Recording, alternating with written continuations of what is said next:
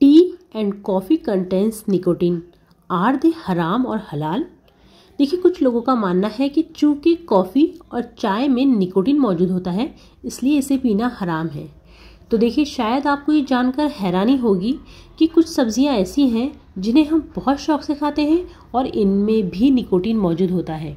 मसलन, cauliflower potatoes tomatoes brinjal, इन सब में निकोटीन मौजूद होता है।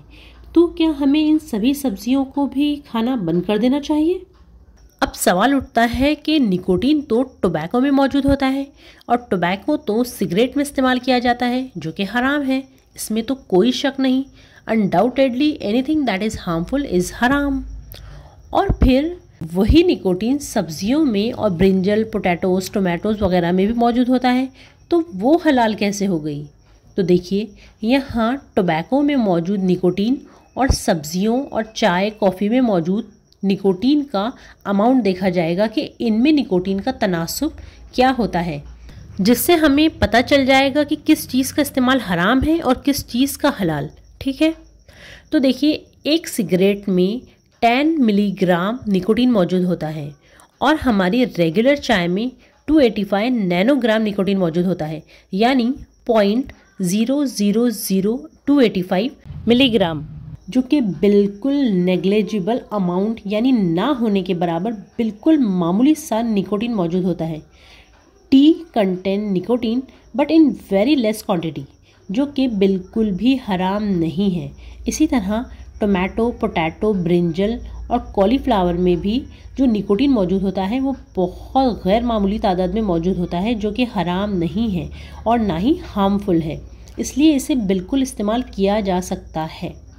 देखिए, जितनी तादाद में निकोटिन, चाय और कॉफ़ी और सब्जियों में मौजूद होता है, वो बहुत ही कम अमाउंट में होता है, बनस्बत सिगरेट के। सिगरेट में निकोटिन इतनी ज़्यादा तादाद में मौजूद होता है कि जिसकी वजह से लोगों को उसकी तलब लग जाती है।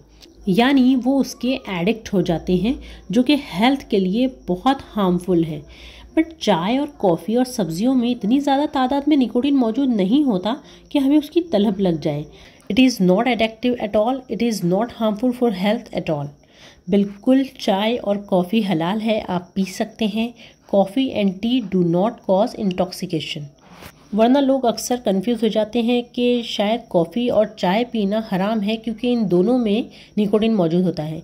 तो देखिए both tea and coffee have a very negligible level of nicotine बिल्कुल आप कॉफ़ी और टी पी सकते हैं बट बहुत ज़्यादा भी चाय और कॉफ़ी का इस्तेमाल ना किया जाए, इससे कुछ बहुत ज़्यादा फ़ायदे भी नहीं है। ये पीना हराम नहीं है, इसका मतलब ये बिल्कुल भी नहीं है कि आप सुबह, दोपहर, शाम बस यही पीते रहें। इससे बेहतर है कि आप दूध और फ्रूट जूस का इस्तेमाल करें। रहा कॉफ़ी के हलाल होने का मसला?